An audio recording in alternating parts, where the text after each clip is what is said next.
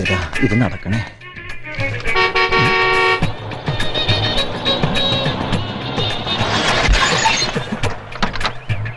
ആ, ഷാരടയും ദിനേശനും ഒരിടം വരെ പോയിരിക്കാം. അവരോട് വന്നിട്ട് ഒരുമിച്ച് രജിസ്റ്റർ ഓഫീസിലേക്ക് പോകാം. അതുവരെ അകത്തോട്ട് ഇരിക്കാം. വേണ്ട വല്ലവ. വന്ന കാര്യം പുറത്ത് പറയാനുള്ളതാ. നീ പറഞ്ഞു? വേണ്ടോ താൻ തന്നെ പറ. എന്നാ നമുക്ക് രണ്ടുപേർക്കും കൂടി പറയാം. ആർക്കും വേണ്ടാത്ത ഭാർഗവി നിലയം. ഞങ്ങളുടെ തലയിൽ കെട്ടിവെക്കാൻ നോക്കിയാ ഇത്. മറ്റവന്മാർക്ക് ഞങ്ങൾ വേറെ കൊടുത്തോളാം.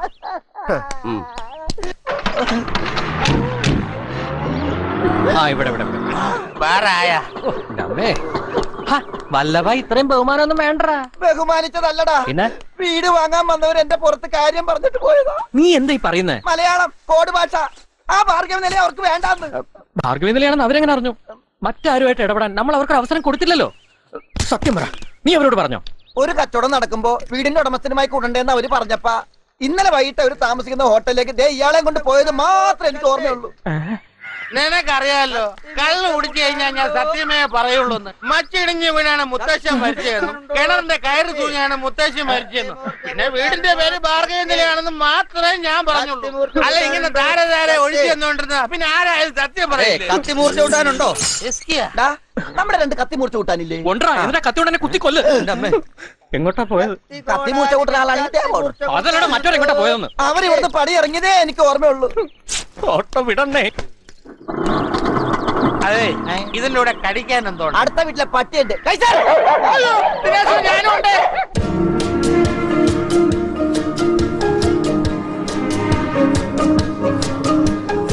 മാറങ്ങട്. രാംഭവന്റെ കാലത്തെ ടിവിയാ. ഇതൊന്ന് മാറ്റി കളർ ടി വി ആക്കാൻ പറഞ്ഞിട്ട് എത്ര കാലായി? എങ്കിൽ ഇവറ്റകളൊക്കെ കളറായിട്ട് കാണായിരുന്നു. അതെങ്ങനെ?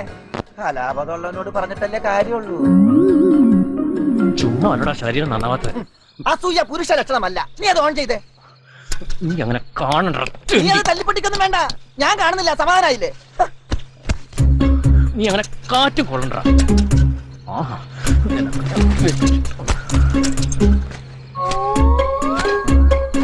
നീ എന്തിനാ ഈ തുണിയൊക്കെ എടുത്ത് ബാഗിലിടുന്നത്?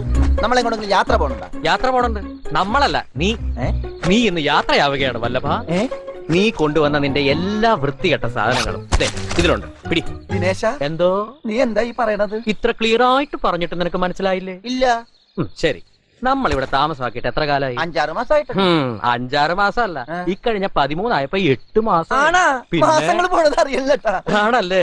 എടാ ഒരു മുറുക്കാൻ മുറുക്കാങ്കടയുടെ മുന്നിൽ വസ്തു വിൽക്കുന്നതിനും വാങ്ങുന്നതിനും സമീപിക്കുക. വല്ലവൻ ഇടുക്കി എന്ന് ചുണ്ണാമ്പിൽ എഴുതിയ ബോർഡും വെച്ചോണ്ടിരുന്ന തറ ബ്രോക്കറായ നിന്നെ ഈ വീടും വാടകയ്ക്ക് എടുത്ത് ഇവിടെ കുടിയിരുത്തേക്കണ എന്തിനാ? അത് പിന്നെ ഷാരടിയുടെ വീട് വിറ്റ് തരാൻ. അതിനുവേണ്ടി ഫുൾ ടൈം അലയാനാണ് മാസ ശമ്പളവും സ്ഥലം വിറ്റാൽ നീ നിന്റെ ജീവിതത്തിൽ കണ്ടിട്ടില്ലാത്ത കമ്മീഷനും നമ്മൾ തമ്മിൽ പറഞ്ഞുറപ്പിച്ചത്. അതില്ലെന്ന് ഞാൻ പറഞ്ഞില്ലല്ലോ. എന്നിട്ട് വീട് വാങ്ങാൻ വന്നവരുടെ പുറകെ അലഞ്ഞു തിരിഞ്ഞു വന്ന എന്നോട് അതിനെ കുറിച്ചൊരു വാക്ക്? അല്ല അത് ഞാൻ ചോദിക്കാൻ നാവ് പുറത്തേക്ക് ഇട്ടപ്പോഴല്ല നീ കൂടുതൽ നാക്കൊന്നും പുറത്തേക്കിട്ട് ബുദ്ധിമുട്ടണ്ട. പോവാൻ നോക്കണം എങ്ങനെയെങ്കിലും കഷ്ടപ്പെട്ട് ഞാനിത് കച്ചവടാക്കിക്കോളാം ദിനേശ് അതൊക്കെ വലിയ ബുദ്ധിമുട്ടുള്ള കാര്യമാണ്. വലിയ ബുദ്ധിമുട്ടാന്ന് എനിക്ക് അറിയാൻ വല്ലഭ. കഴിഞ്ഞ രണ്ട് മാസത്തെ വാടക എങ്ങനെ കൊടുക്കുമെന്ന് ആലോചിച്ചിട്ട് മനുഷ്യന്റെ മനസ്സിൽ തീയ. അപ്പൊ എന്റെ മനസ്സിൽ തീയില്ലേ. ഉണ്ടെങ്കിൽ വല്ല ഫയർ സ്റ്റേഷനിൽ വിളിച്ച് പറയടാ. ഇപ്പൊ പറഞ്ഞ രണ്ട് ദിവസത്തിനുള്ളെങ്കിലും വരും. അതായത് ദിനേശ എന്തൊരു ചൂട്. നീ സീരിയസ് ആണല്ലേ? ആ വളരെ സീരിയസ് ആ. അപ്പൊ ഗുഡ് നൈറ്റ് എന്നത്തേക്കുമായിട്ട്. ആ പിന്നെ പോകുമ്പോ നിന്റെ ആ പാട്ട ബോർഡ് കൂടി എടുത്തോണ്ട് പോകാൻ മറക്കണ്ടേ? വീട്ടിൽ black and white T V കണ്ടിരുന്ന മഹാലക്ഷ്മിയാണ് നീ പുറകാലിനെ ചവിട്ടി പുറത്താക്കണെന്ന് ഓർത്തോ? പക്ഷെ മൂദേവിയെ ചവിട്ടി പുറത്താക്കുന്നോണ്ട് യാതൊരു തെറ്റൂല വല്ലപ്പാ നീ പോവാൻ നോക്കടാ. പോകൂടാ. അതെ ഈ രാത്രി തന്നെ പോണ. ഓടിച്ചിട്ട് പിടിച്ച് വൃക്ക തട്ടിയെടുക്കണ കാലോണേ. ഞാൻ ഇവിടെ എവിടെയെങ്കിലും ചുരുണ്ടുകൂടിയിട്ട് രാവിലെ പൊക്കോളാടാ. രാവിലെ എന്ന് പറഞ്ഞ വെളുപ്പിൽ. എന്നോട് യാത്ര പോലും പറയാൻ നിൽക്കണം. പുറത്താണ്. ഫാൻ കൊള്ളാം.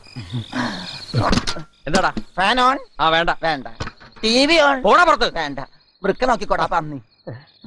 ദൈവമേ.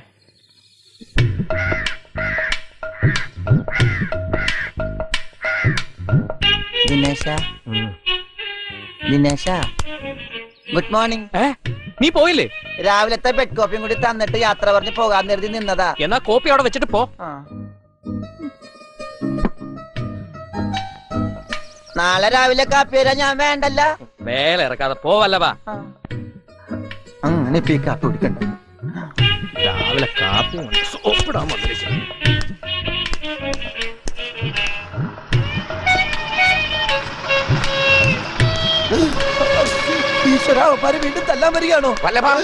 എന്താ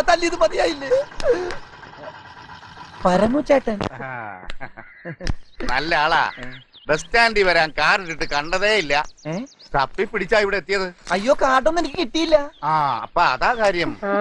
വല്ലഭൻ ഈ നാട്ടിലില്ലേന്ന് ഞങ്ങൾ ശങ്കിച്ചു. അല്പം താമസിച്ചിരുന്നെങ്കിൽ എന്നെ കാണാൻ പറ്റില്ലായിരുന്നു. അല്ല ഞാനൊരു വഴിക്ക് ഇങ്ങനെ യാത്ര പോകാനായിട്ട് ബാഗ് കണ്ടപ്പോഴേ മനസ്സിലായി. ഇങ്ങോട്ട് കാര്യങ്ങളൊക്കെ ചുരുക്കി അങ്ങോട്ട് പറയാം. വാ. വല്ലഭേട്ടന്റെ ഓഫീസ് അമ്മേ. നല്ല ബിസിനസ് ആണെന്നാ കേട്ടെ. അല്ലെങ്കിൽ പിന്നെ ടൗണിൽ സ്വന്തമായിട്ട് ഇങ്ങനെ വീടൊക്കെ വാങ്ങാൻ പറ്റുമോ? അതുകൊണ്ട് എത്രയും വേഗം ഒരു കിടപ്പാടും പത്ത് വാഴ വെക്കാനുള്ള മണ്ണ് നീ ശരിപ്പെടുത്തി തരണം. പെട്ടെന്നൊരു സ്ഥലമൊക്കെ ശരിയാക്കാന്ന് പറഞ്ഞാ എന്തായാലും കുറച്ച് സമയം എടുക്കും. നീ രാവിലെ ചായ കുടിക്കാതെ പിടിച്ചേ. ആ ബാഗ് ദിനേശൻ വല്ലവന്റെ ഫ്രണ്ട് ഞാൻ വിചാരിച്ചു വല്ലവന്റെ പാചകക്കാരനായിരിക്കും. പാചകം ചെയ്യും. ഞാൻ ഉണ്ടാക്കുന്ന കിച്ചടി പച്ചടി പാൽപ്പായസൊക്കെ ഇവന് ഭയങ്കര ഇഷ്ടമല്ല?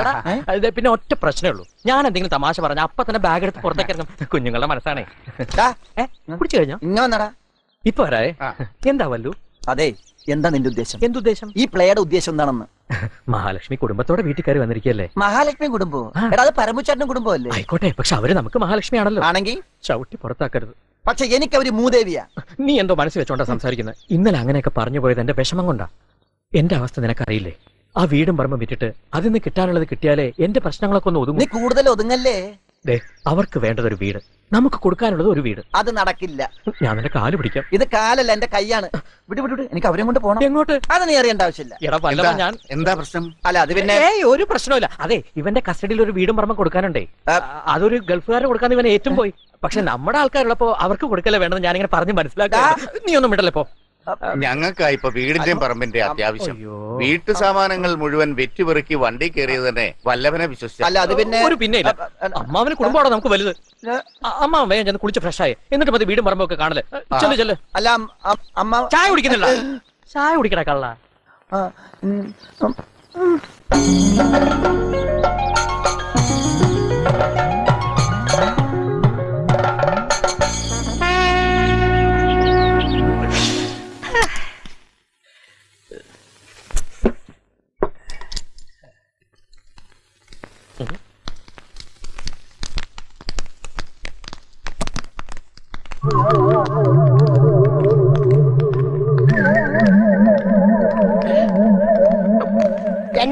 വെച്ചിട്ടുള്ളേ ശരിയാ വാതിൽ കിടക്കാൻ പ്രയാസമാവും ഈ കസേരയും കൊണ്ട്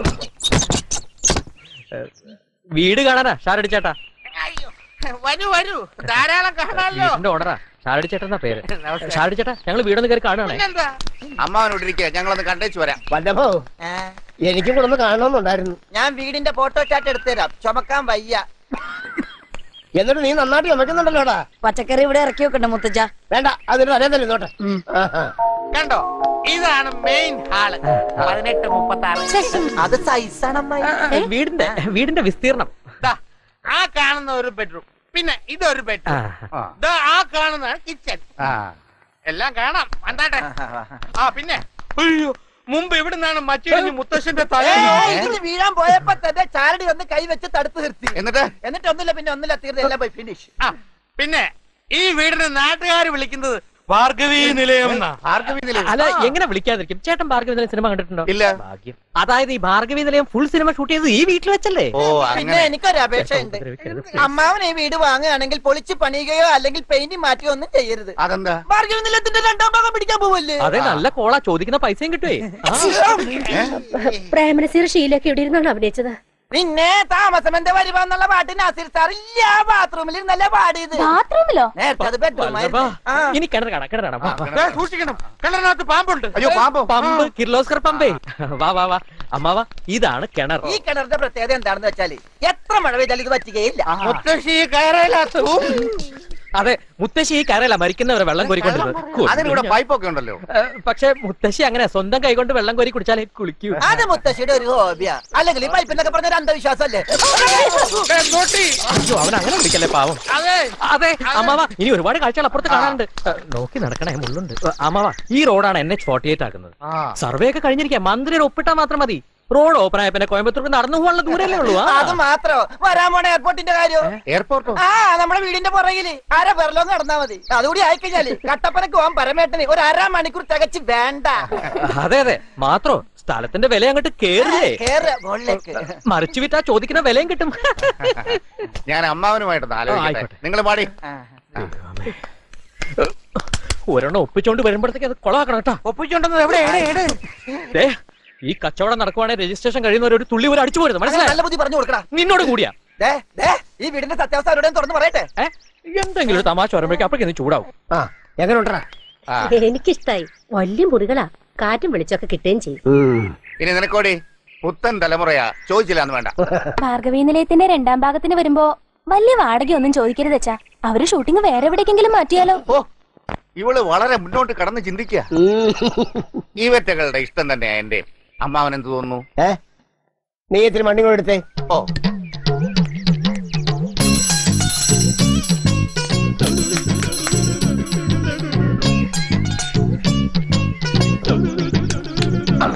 ആ, ഞാൻ സ്ഥിരമായിട്ട് മൂത്രം ഒഴിക്കുന്ന സ്ഥലമാ നിന്ന് മണ്ണെടുത്ത് വായിലിട്ടിട്ട് അയാൾ എന്താ കാട്ടണേ? എന്തെങ്കിലും കാട്ടട്ടെ. ഉം, കന്യക. യൂറിയായും നാടൻ സ്പിരിറ്റും സമം ചേർത്തതിന്റെ സ്വാദ് ഒരു അൻപത് വർഷത്തിന് ഇപ്പുറം ആരും കൃഷി ഇറക്കിയിട്ടില്ല നല്ല വളക്കൂറും പശപച്ചപ്പും അതെ വില എന്തോ പറഞ്ഞു. ഇരുപത്തിരണ്ട് ലക്ഷത്തിൽ നയാ പൈസ കുറയില്ല. അത് ലേശം കൂടുതലാ. കുറച്ച് കുറയണം. ന്യായമായ വിലയാണെങ്കിലേ ഞങ്ങൾക്ക് താല്പര്യമുള്ളൂ. ആ. ഒരു മിനിറ്റ്. പോരാട്ടോ ബലം പിടിച്ച് അവർ പോകും. പിന്നെ ഞാൻ എന്തോ ചെയ്യണം? കുറച്ച് കുറക്കണം. ദേ ദിനേശൻ അറിയാതെ വൈകുന്നേരം ഒരു ഫുൾ ബോട്ടിൽ നാഗാറാം ഞാൻ മേടിച്ചു തരാം. വാക്കാണോ? ഈ നാക്ക് കൊണ്ട് വെറും വാക്ക് പറയില്ല വല്ലഭൻ. ഉം, അപ്പൊ എത്ര കുറയ്ക്കണം? രണ്ട് കുറച്ചോ? രണ്ട് രൂപ രണ്ട് ലക്ഷം. എന്താ ആലോചിക്കണത്? ഉറപ്പിക്കാല്ലേ പിന്നെന്ത്? വാ. ആ. ഇരുപത് ലക്ഷത്തിന് സമ്മതം. അത് ന്യായം. പക്ഷെ ഒരു ചെറിയ പ്രശ്നമുണ്ട്. ഇപ്പൊ പതിനഞ്ച് ലക്ഷം രൂപയെ ഞങ്ങളുടെ കയ്യിലുള്ളൂ. ബാക്കി അഞ്ചു ലക്ഷത്തിന് ഒരു മാസത്തെ സമയം തരണം. അതിനിപ്പോ എന്താ? പതിനഞ്ച് എനിക്ക് നേരെ അഞ്ചു ലക്ഷം ഒരു മാസം കഴിഞ്ഞ് ദിനേശിന് കൊടുത്താൽ മതി. എന്തായാലും ഞാൻ ദിനേശിന് കൊടുക്കാനുള്ളതാണല്ലോ. ചേട്ടൻ എന്റെ കാര്യങ്ങളൊക്കെ അറിയാവുന്നതല്ലേ? ഈ കാശ് കിട്ടിയിട്ട് വേണം. ചേട്ടൻ ഒരു കാര്യം ചെയ്യും. പത്ത് രൂപ ചേട്ടൻ എടുത്തു. അഞ്ചു രൂപ എനിക്ക് തന്നാ മതി. ബാക്കി കാശ് ചേട്ടൻ തന്നെ നേരിട്ട് മേടിച്ചു. അയ്യോ അയ്യോ. ഞാൻ ഇത് വിറ്റ് കഴിഞ്ഞാൽ അങ്ങ് നേരെ ബാംഗ്ലൂരിലേക്കാ. അതിനുവേണ്ടി ഒരു തിരിച്ചു വരുമെന്നൊക്കെ പറഞ്ഞാൽ ബുദ്ധിമുട്ടാ. നിങ്ങളാവുമ്പോ ഒരേ നാട്ടുകാർ എപ്പോ വേണമെങ്കിലും കാണുക വാങ്ങുക. എന്ത് വേണമെങ്കിലും ആകാലോ ഞാൻ ഈ ഒരു പ്രതീക്ഷയില ഇത്രയും ദിനേശന് ഞങ്ങളെ വിശ്വാസമാണെങ്കിൽ അടുത്ത മാസം ഇതേ ഡേറ്റിന് കാശ് റെഡി ഞങ്ങൾ വിറ്റ പറമ്പിന്റെ ബാക്കി കാശ് നാട്ടിൽ നിന്ന് കിട്ടാനുള്ളതാ. വേണേലൊരു എഗ്രിമെന്റ് ദിനേശനുമായി പ്രത്യേകിച്ച് എഴുതാം. അയ്യോ അതുകൊണ്ടല്ല. എന്റെ സിറ്റുവേഷൻ എന്ത് സിറ്റുവേഷൻ പതിനഞ്ച് ലക്ഷം ചാരടിക്ക് കൊടുക്കുന്നു പ്രമാണം എഴുതിക്കുന്നു. അഞ്ചു ലക്ഷം പറഞ്ഞ പോലെ അടുത്ത മാസം നിനക്ക് തരുന്നു. ദേ, അത് വൈകിക്കരുത്. എന്താ? അങ്ങനെയാണെങ്കിൽ പിന്നെ ആ, അങ്ങനെ തന്നെ ഇനി ഒന്നും ആലോചിക്കണ്ട. നല്ലൊരു നാൾ നോക്കി ഗൃഹപ്രവേശനം. എടാ പയ്യ. എന്തോ? ആ പച്ചക്കറി ചാക്ക് കൊണ്ടുപോവാ ഇതെന്തിനാ ഇപ്പൊ പച്ചക്കറി? ഞങ്ങളുടെ നാട്ടിൽ വീട് കച്ചവടം നടന്ന ആദ്യം ഇത്തിരി പച്ചക്കറി കൊടുക്കും. കപ്പയും ഉണക്കമീനും സംഘടിപ്പിച്ച് ഞാനിപ്പോ എത്തിയേ ഉള്ളൂ. ആ എന്നാ ഇനി കുട്ടികൾ പോയിക്കോട്ടെ. പോയിക്കോ. അല്ല ഞങ്ങൾ ഇവിടെ നിന്നോളാം. ഇനി ഇത് എടുത്തിട്ട് അകത്ത് വെക്കേണ്ടതല്ലേ? ആ എനിക്ക് ഇവരോട് രഹസ്യം പറയാനാ. ആയിക്കോട്ടെ. നീ വന്നേ. രഹസ്യം പറയലുള്ളതാ. അത് ശരി. എന്താ മാവാ? നീ എവിടെ ഇരുന്നേ? ദമയന്തിയുടെ കാര്യമാ ഞാൻ ആലോചിക്കുന്നത്. ഇനി അവിടെ കല്യാണം എത്രയും പെട്ടെന്ന് നടത്തണം. ആ അതിപ്പോ എങ്ങനെ അമ്മാവ് ആലോചിക്കുക സ്ത്രീധനത്തൊക്കെ ഒക്കണ്ടേ? വട്ടച്ചെലവിനുള്ള കാശ് ഒഴിച്ച് ബാക്കിയെല്ലാം നുള്ളിപ്പെറുക്കിയ പിഷാരടിക്ക് കൊടുത്തില്ലേ? പകരം വീടും വസ്തുവും കിട്ടിയില്ലേ. കാശിന് പകരം സ്ത്രീധനം അതായാലും തരാറൊന്നുമില്ലല്ലോ ആ അത് ശരിയാന്ന് വെക്കാം. പറ്റിയ ചെക്കനെ തപ്പിയെടുക്കാനെങ്കിലും സാവകാശം വേണ്ടേ? വേണ്ട. ദമയന്തിയുടെ ഭരണം വേറെ എവിടെയും തേടണ്ട. അമ്മാവന്റെ മനസ്സിലുള്ളത് എന്തുവാ? എനിക്കൊരു പിടിയും കിട്ടുന്നില്ല. ചെറുക്കൻ ഇവിടെ തന്നെ ഉണ്ടെന്നേ. ഈ വീട്ടിൽ തന്നെ. വല്ലഭൻ. ഞാനല്ല നീയ. കുറേശ്ശെ തരികട ഉണ്ടെന്നാ ഞാൻ കരുതിയത്. നല്ലവനാ. ഒരു മിനിറ്റ് കൊണ്ടല്ലേ രണ്ടു ലക്ഷം രൂപ ഉറപ്പിച്ചത്? കാട്ടാന കയറുന്ന തൂക്കണാൻ പറയ പോലെ ഈ വിലക്ക് ഇങ്ങനെ ഒരു വീടും വസ്തുവും കിട്ടുമോ? എല്ലാം അവന്റെ ഒറ്റം എടുക്ക. ദമയന്തിയുടെ സമയം നല്ലതാണെങ്കിൽ അവൻ ഈ ബിസിനസ് വെച്ചടി വെച്ചടി കയറ്റമായിരിക്കും. ദമയന്തി വെള്ളം കൊണ്ടുവാ. ഗ്ലാസ് ഒന്ന് പോരാ രണ്ടെണ്ണം വേണം.